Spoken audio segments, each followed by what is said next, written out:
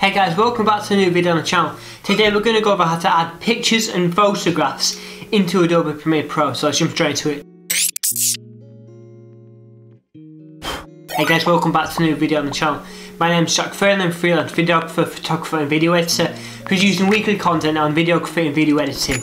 And if that's something you're interested in, stay tuned and subscribe to the channel and check out some of my other videos. And if you want to support the channel, go buy me coffee, link in the description. So how do we actually add pictures into Adobe Premiere Pro and our edits? Let's jump straight into this. So first of all, you're going to need your little clip on the, uh, your edit on the timeline obviously, and then you're going to need your picture. We're going to use my last thumbnail, if you want to check that video out up there, check it out there goes over the Instagram, how to make a video for Instagram. So this is fairly simple, just literally drag it on and it's going to create the little file.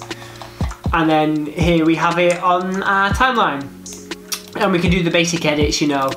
If we go over to effect controls, we can scale it up to about probably 180, 150 I mean. Yeah, about 150 for that. And then we've got a perfect little uh, thumbnail or picture on our video. So whatever you, you edit might be, we're gonna da, da, da, da, da, talk about it and it's gonna go off if we don't talk about it. And we can rearrange the uh, length of it here, just drag it. If we want it to be really short, we just want it to flash on real quick. So we play that, flash on real quick, flash off. And if you want to keyframe it, make sure at the start of the clip, hit the little stopwatch up here.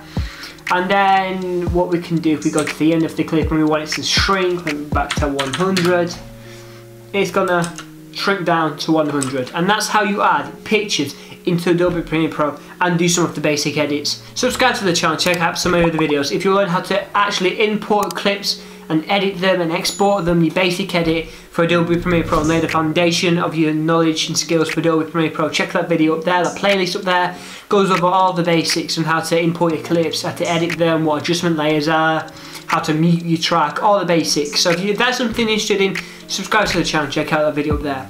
And if you want to support the channel, link in the description, go buy me coffee.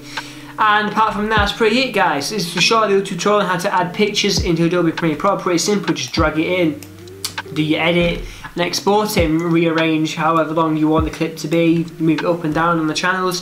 Thank you for watching guys and I'll see you in the next video.